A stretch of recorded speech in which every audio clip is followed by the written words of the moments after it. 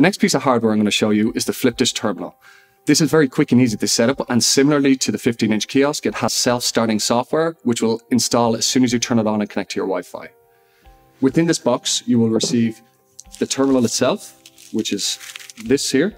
You'll receive a spare paper roll, and you will also receive the power cable and charger in this small black box. To set this up, we simply hold down the power cable on the left hand side of the machine for three to five seconds, and you'll see the logo appear. So when your Flipdish terminal powers on, you'll be asked to select your location and you'll ask to be input your Wi-Fi details. To do this, simply select your location wherever you are based, and then next and then enter your Wi-Fi details. After this, you need to click Start Configuration and it will download all of our self-starting software. So after I click Start Configuration, in about two minutes, our terminal will be ready to use. The first machine I'm going to look at is the terminal. You can see here. Just to open and insert the paper, you simply go to the back of the terminal and lift the clip up here and this slides back. You can then insert your paper roll into this. Once the paper roll is inserted, we close the top down and we can tear off any excess paper like so. This terminal is now ready to be registered on our portal.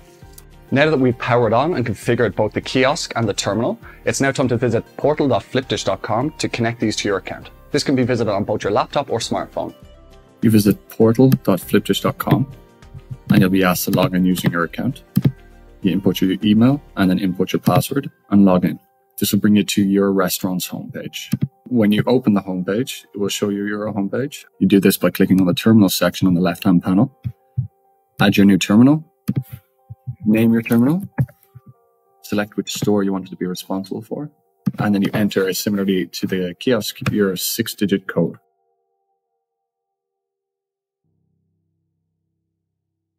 And the changes have been successfully saved.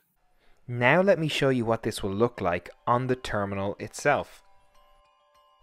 Once you've registered your terminal, click Settings and update your language and number of prints you would like each time you accept an order. You can also select to automatically accept orders and change the printer font size. And don't forget, please ensure your device is connected to the Wi-Fi in order for it to work correctly. Now that we've finished all the configuration, we're ready to accept orders. So let's test the machine out by placing an order now. You click Start Order on the right hand side of the machine. I'm then going to select my main, which is a pizza, and I'm going to go for a margarita, which is going to be 13 inches. I don't want any basil.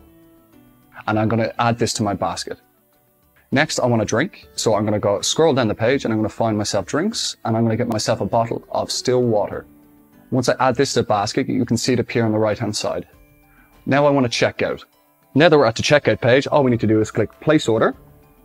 And you can see that the EMV terminal is now asking us to insert chip and pin or tap.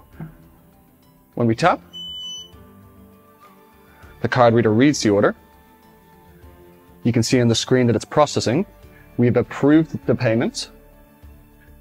And finally, the order will print out of your terminal.